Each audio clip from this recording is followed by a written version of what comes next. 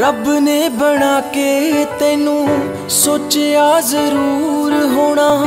ਦੁਨੀਆ ਤੇ ਭੇਜਾਂ ਜਾਂ ਨਾ ਭੇਜਾਂ ਮੈਂ।